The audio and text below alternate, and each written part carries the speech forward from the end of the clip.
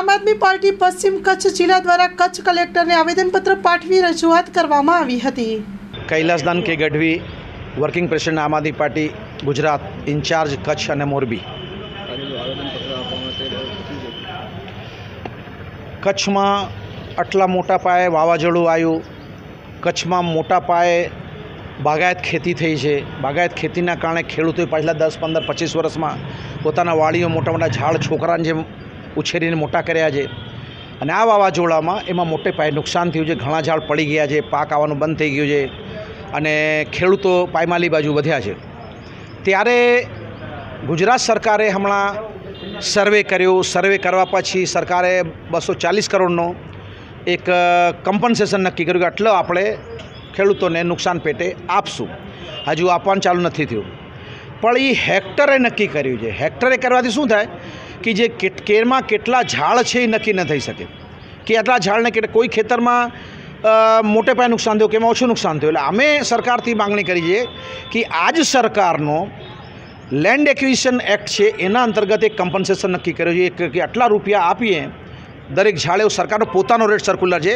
બે હજાર એકવીસમાં બાર ડિસેમ્બરે બહાર પાડેલો સર્ક્યુલર છે, જે અમે આજ કલેક્ટર સાહેબને પણ નિવેદન કરીને આપ્યું છે કે અમારે કચ્છના ખેડૂતોને જે નુકસાન થયું છે, જે પાયમાલી ભોગી રહ્યા છે, એને તમે એ લેન્ડ એક્વિઝિશન એક્ટમાં જે કમ્પન્સેશન આપવાની વાત છે, એ પ્રમાણે તમે એમને કમ્પન્સેશન આપો.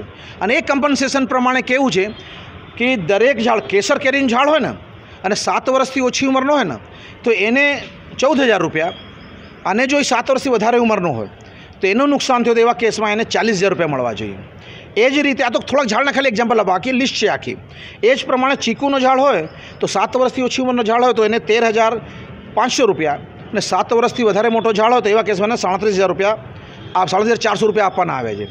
એ જ પ્રમાણે નારિયેલ હોય તો ચાર હજાર પાંચસો રૂપિયા સાત વર્ષથી ઓછી ઉંમરનો હોય અને મોટો હોય તેવા કેસમાં એને પંદર હજાર રૂપિયા આપવા જોઈએ. સરકારનું પોતાનું સર્ક્યુલર છે.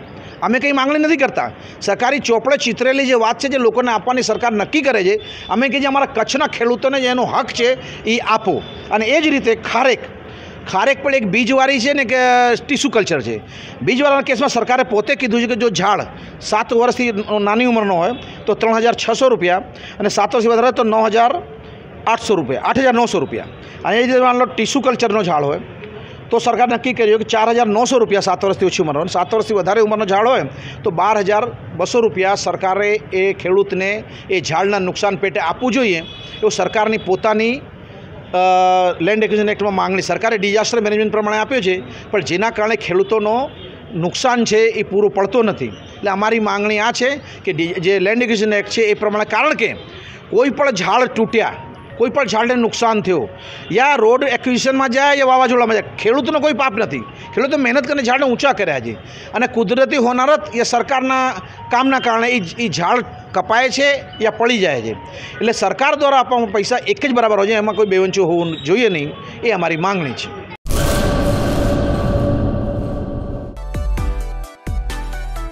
મા motor driving. Safe and sure driving. Driving એ શોખ સાથે આપની મોટી જવાબદારી પણ છે. અમારા ઇન્સ્ટ્રક્ટર દ્વારા સચોટ અને સરળ માર્ગદર્શન. આપની રોજની તાલીમની માહિતી મેળવીને શું શું અધુરાશ છે, એના ઉપર પૂરું ફોકસ કરાય છે.